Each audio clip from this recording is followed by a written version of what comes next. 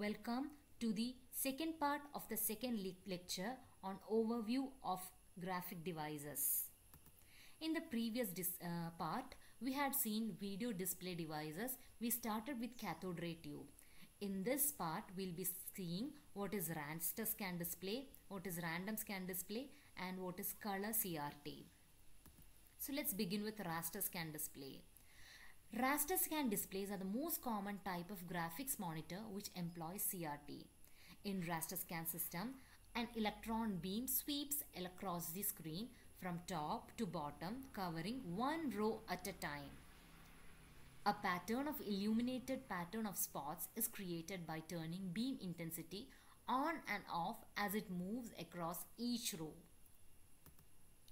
Now it has got a memory area. The memory area is called refresher buffer or frame buffer and this memory area stores the picture definition.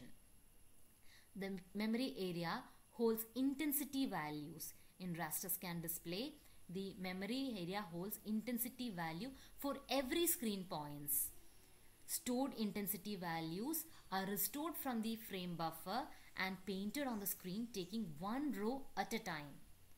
Each screen point is referred to as pixels. The refresher, the refresh rate is a number of times. This is a new concept that we are seeing. The refresh rate. The refresh rate is a number of times a display's image is repainted or refreshed per second. I'll repeat it. The refresh rate is a number of times a display's image is repainted or refreshed per second. This refresh rate is represented in terms of hertz.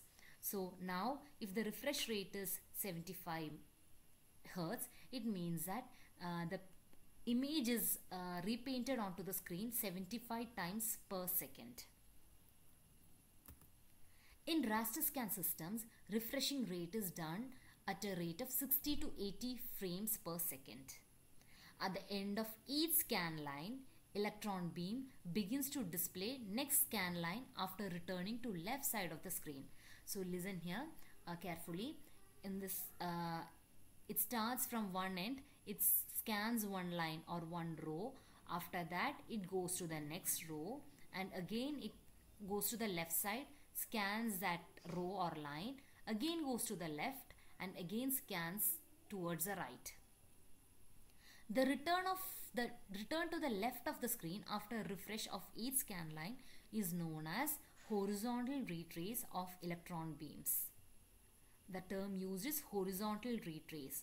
Once a line is scanned, it reaches to the rightmost part, then it traverses back to the leftmost part of the next row, traverses that line. So this uh, retracing back to the left side of the next row is known, known as horizontal retrace. At the end of each frame, electron beam returns to the top left corner. So once uh, the complete screen is scanned, it returns back to the top left corner and begins uh, the next begins uh, again the whole procedure. This is known as vertical retrace. After completing the whole screen, it returns back to the first point and then starts doing the whole procedure again. This is known as vertical retrace. You can take a moment to see the picture here.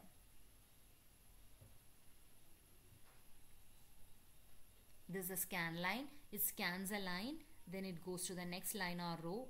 It does the same. Once it reaches the end of the screen, it returns back to the beginning position and this procedure is known as vertical retrace. After completing one line, it goes to the next line, beginning leftmost side of the next line. This procedure is known as horizontal retrace. Okay, so that was about raster scan display. Next, we'll be seeing what is random scan display. In random scan display, electron beams is directed only to the areas of the screen where a picture has to be drawn.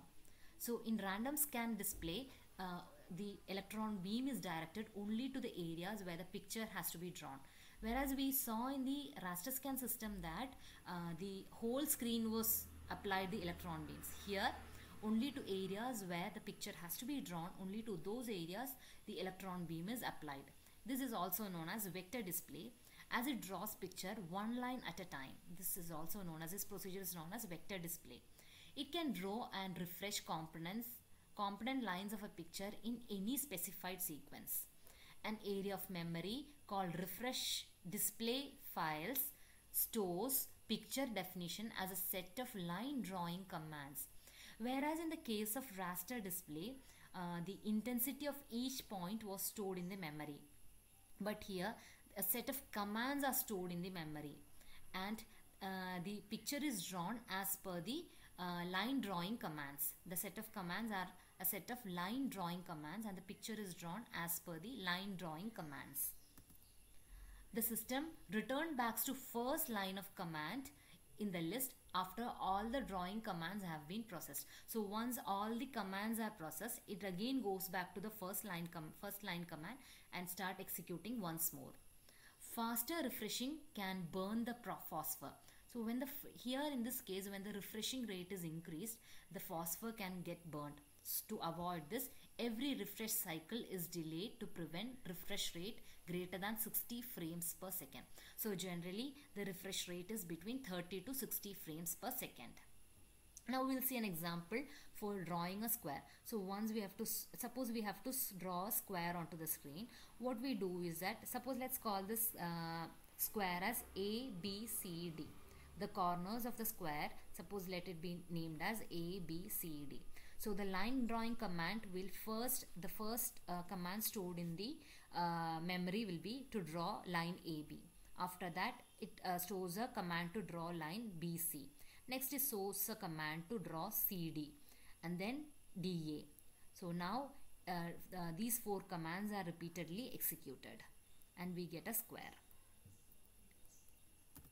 So that was about random scan display. Next we will see color CRT display. The CRT monitor display is by using a combination of phosphors. Phosphors. In uh, case of normal CRT, uh, the phosphor color was same. But here the combination, there will be multiple colored phosphors that are used. So there are two popular approaches for producing color display with CRT. They are beam penetration method and shadow mask method. So we'll see the first method, beam penetration method.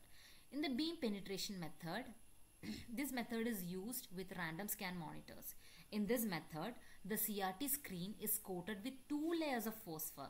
There are two layers of phosphor, red and green are the colors and the displayed color depends on how far the electron beam penetrates the phosphor layer. So there are two layers on the CRT screen, they are red and green and uh, how far the electron beam penetrates the phosphor layer that decides the color on the screen.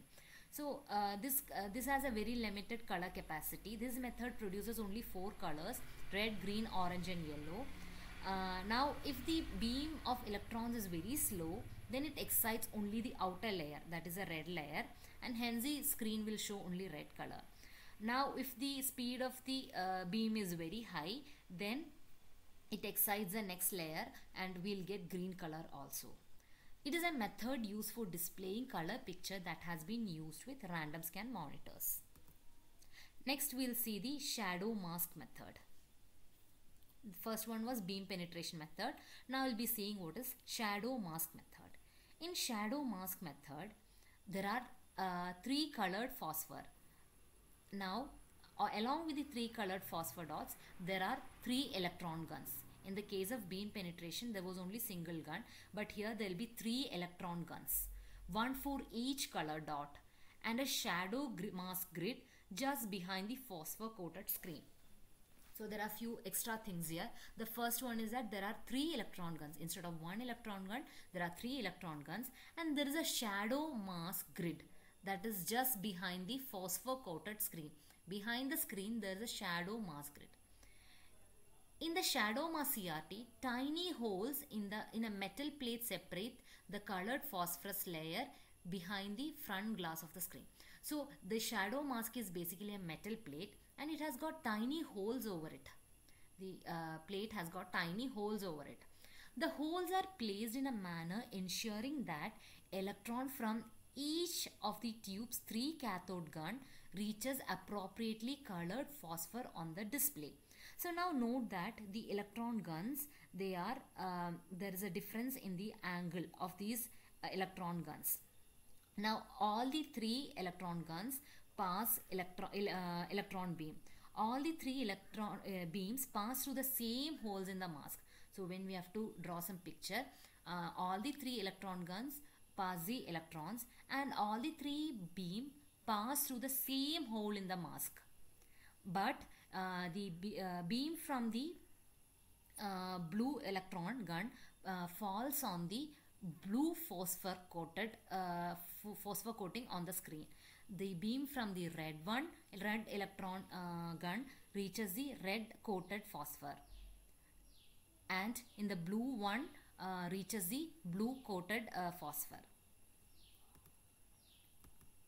The spacing of the hole, the spacing of the phosphorus and the placement of the gun is arranged so that for example the blue gun has only uh, an unobstructed path to the blue phosphor. The red, the green and the blue phosphor for each pixel are generally arranged in a triangular shape. This is known as sometimes known as triad. So this method is known as delta delta shadow mask method. So in this lecture we had seen raster scan display, random scan display and color CRT.